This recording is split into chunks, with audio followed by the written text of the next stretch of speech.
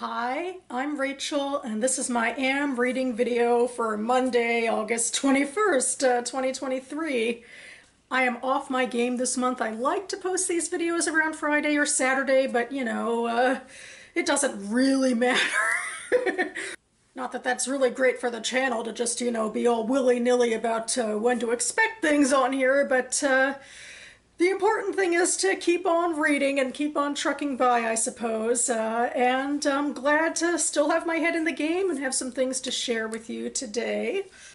And the first thing I'll share, as always, is the next story in the current anthology I'm reading. Uh, the current one being Oy Caramba, an anthology of Jewish stories from Latin America, edited by Ilan Stavans. We are officially reaching the end of this anthology. Uh, I have gotten into an appendix of short stories written by one person, the Argentinian writer Jorge Luis Borges. And uh, the story I read uh, this week is called Emma Zunz. Uh, and it is a story that uh, is obliquely Jewish, uh, mostly uh, through last names is my association. I think other parts of it uh, come from if you have uh, knowledge of the geography that's being talked about in this story, but uh, Zunz is a Yiddish name, and another big name that comes into play is a Lowenthal, which technically I think is Germanic, uh, but uh, a lot of the uh, influential people who are Lowenthals are Jewish. And anyway, the story begins when Emma gets notice that her father has died. He was imprisoned in Brazil uh, for an embezzling scheme, and she is positive he committed suicide. She's positive that he was wrongfully accused, and uh, that the now owner of uh, her textile mill where she works, uh, a man named Lowenthal, was actually responsible. So in this narrative, she sets out to take revenge.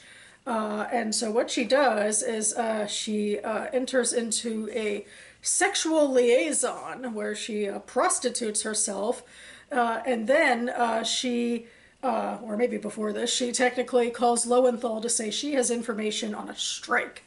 Uh, and when they get to meet together go to meet together and he turns to get some water or something she shoots him in revenge and then claims he'd been abusing her which then is a harrowing way to tie back in the fact that she had sexual congress with people to you know, uh, instigate that he uh, uh, molested her. So it's a story filled with cynicism and revenge. It's also straight up uh, narrative, uh, passive reporting voice about then Emma did this, then Emma did that, no dialogue or anything like that. It's not my favorite way to get into story. I'm wondering if Borges's other uh, couple of stories in here are going to be the same. I guess I'll see in coming weeks, but it's definitely a very chilling uh, premise. And the first novel I finished this week is Take What You Need by Idra Novey. This I put on my mock reads list for contemporary fiction. Uh, basically, I make myself a TBR of uh, current releases, uh, 2023 releases in this case, of uh, books in varying genres I want to read before the Goodreads Choice Awards. Uh, not that I'm assuming this one will make it onto that list, but you know, I have my own tastes in fiction, or at least I try to or think I do. Uh, I, I, read another one of Novey's books a few years ago, and uh, the premise of this one sounded intriguing, but I uh, I had trouble with it. I'm having trouble at this, um, you know, with my first few books I've talked about in my August Am Reading videos. I don't know. It's uh, anyway. I'll get into it.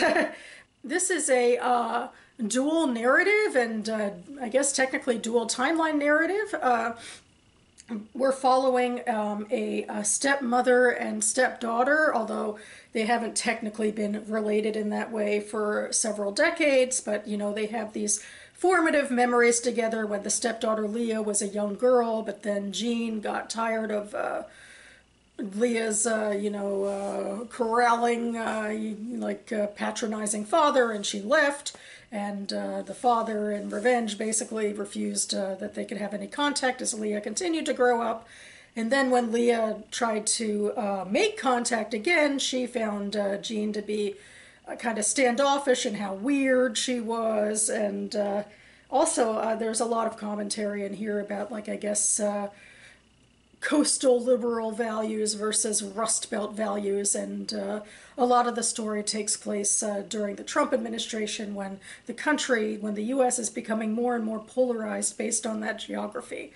And so what I was assuming was this, that this, uh, you know, and maybe it's wrong to go in and judge books based on incorrect assumptions, but I went into it thinking that this would be about Leah going to visit her stepmother for the first time in several years and having to contend with like political differences and where they're the same and where they converge and, you know, having to deal with uh, the uh, environs of this uh, rural uh, town. And and that part I guess is the most true the, the part that's least true is that they actually meet up. Because in Leah's storyline she's heard from her uh, from Jean's uh, housemate that Jean has died and she's going to the house to sort of deal with Jean's uh, weird crazy sculpture just called Manglements and she has her uh, Latinx husband and her mixed race son in the car with her and then in the next storyline, it's uh, Jean's basically final years, uh, where uh, it talks about how she meets this housemate. It talks about her manglements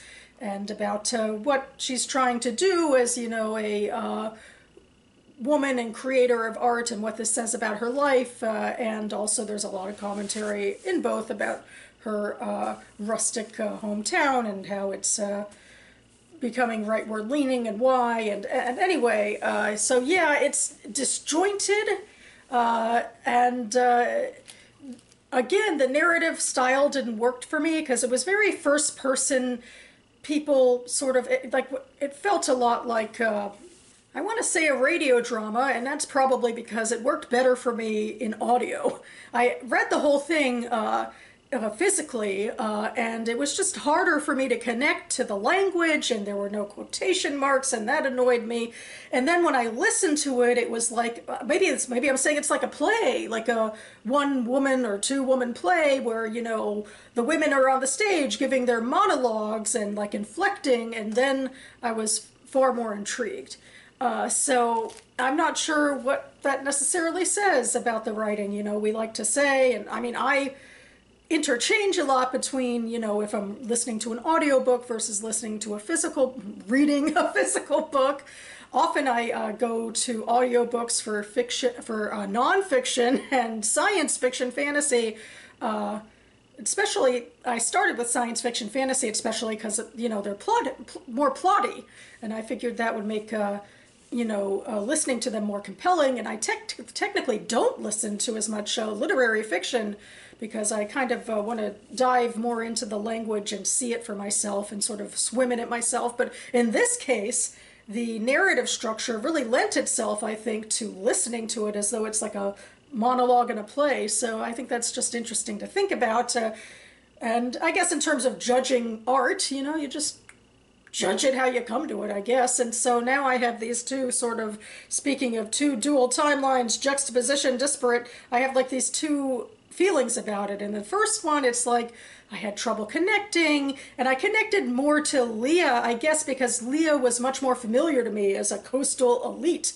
And, you know, I could like easily get into her head, like when she's at the gas station and some, you know, white racist woman is like heckling her husband and like, you know, lecturing him as though being Latinx is, you know, anti-American or something. And, uh, Leah's like uh, defensive response to you know being the white woman married to uh, a Latinx man coming coming back to her hometown where she you know has all these horrible mixed feelings. I guess you know that's you know I feel like I could connect to that more almost like it, it's in a way it's a simpler story where the good guys and bad guys are more delineated.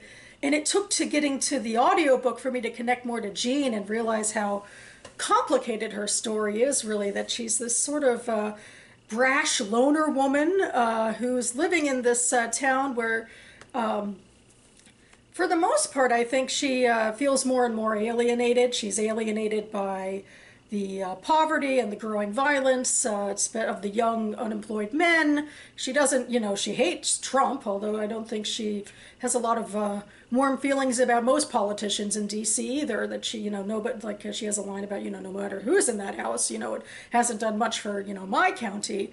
Uh, and she has backstory about how she's been, you know, physically and mentally abused by her father, and then, you know, demeaned by her husband, and she just, you know, is sort of done with society in ways and like a lot of what she's doing in her later life after she's laid off from a hospital that closed down is she uses uh, these manglements in this art and this uh, which is basically she uses scrap metal and youtube videos to weld things and uh, it's about her trying to sort of claim an identity for herself and there's a lot of uh, you know um, references to uh, artists and her art forms subscription from college and that sort of thing. And it really seems like what she's trying to do is sort of, uh, you know, uh, inculcate this identity where she feels so ostracized and alone. And certainly she is uh, sad that her relationship with uh, Leah went off the rails, that they didn't have the formative years together. And then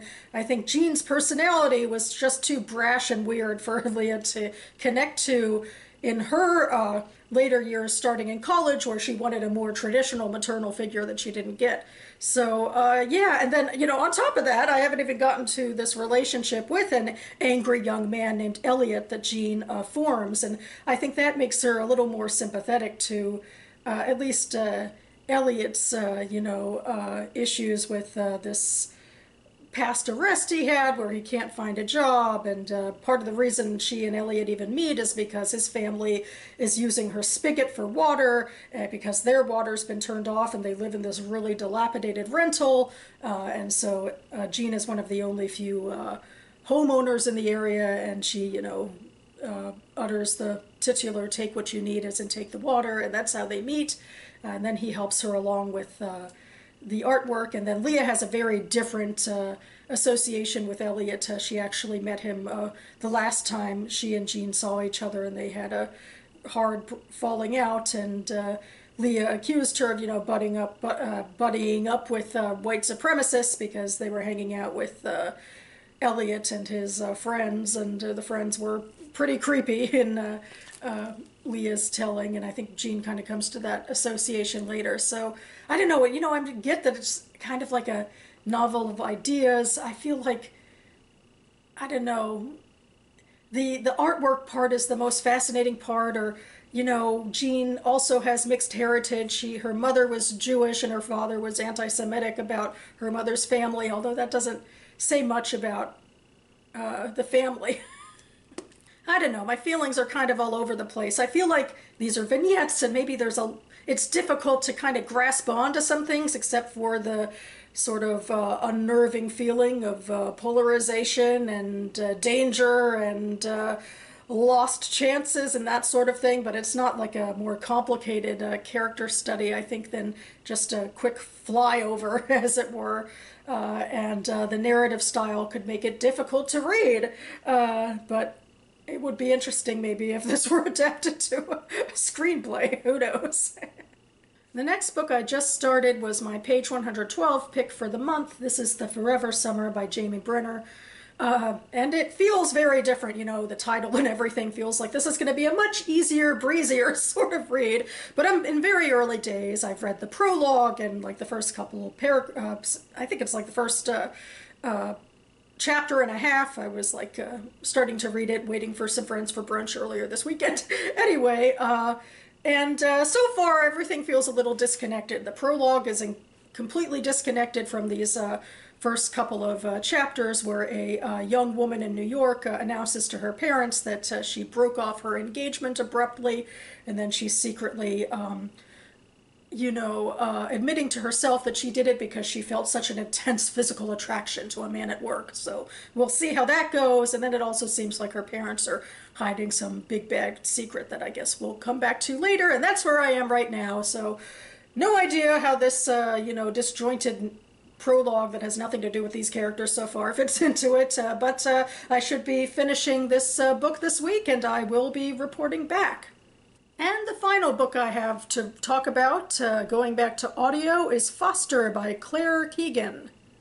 This is a novella, really, very short book uh, that uh, takes place in rural Ireland, where a young girl is placed uh, in the care of some uh, family members living on a farm over a summer, I believe, and uh, that's all I should say about it anyway, because I am reading this book for the BookTube Prize. So the BookTube Prize was started by Robert at Barter Hordes for the literary internet community, mostly on BookTube. Uh, and uh, the point is to uh, read the best of literary fiction and nonfiction published in the US the year before. So this year we're reading 2022 releases. And we are in the final round where we're dealing with the finals ballots for fiction and nonfiction. I am reading for fiction in the finals. I have a ballot of six books, including Foster. I have to read them and keep my thoughts to myself until I submit my ballot of uh, my favorite to least favorite books. And then in October, we will uh, hear uh, aggregated, all of the judges' uh, uh, opinions will be aggregated, and we'll hear which books win the top three spots per division. And I've been a judge uh, officially for a few years now, and it's just been a great way for me to, uh, you know, expand my reading and do something really fun with the rest of the community. Uh, and I did, you know, leave some preliminary thoughts on my ballot. We're not supposed to talk about, you know, our thoughts as we read and influence each other, but I had some preliminary thoughts before I started reading, so if you'd uh, be interested in those, I'll leave that video linked down below. And that about covers it for me now. Getting into a new week of August, and I have a lot more reading I'd love to get to, but uh, at the end of the week, I also have some uh, fun stuff hopefully uh, going on. Uh, my uh, niece and nephew are about to uh, start school again. my niece will be in fourth grade, and my nephew's starting kindergarten. And on Friday, hopefully, uh, my dad will be bringing them to uh, DC. Uh, I live in the DC area, and we will hopefully go to the zoo if the weather cooperates, or maybe to one of the museums if it doesn't. It's been kind of hot here lately, uh, but I have to go ahead and ask my boss for some time off work, so I get to spend that time with them, and I'm excited. It's it's going to be my nephew's uh, first uh, visit to DC, so so that's exciting in and of itself. Uh, and yeah, it's nice to have something like that to look forward to. I hope you all have uh, things to look forward to as well in reading and otherwise. I should be back on this channel in the next couple of days, speaking of mock reads videos, to do my uh, 2023 science fiction list of books I'm hoping to complete before the Goodreads Choice Awards uh, in a couple of months, so stay tuned for that. Thanks so much for watching, everyone, and I'll see you next time.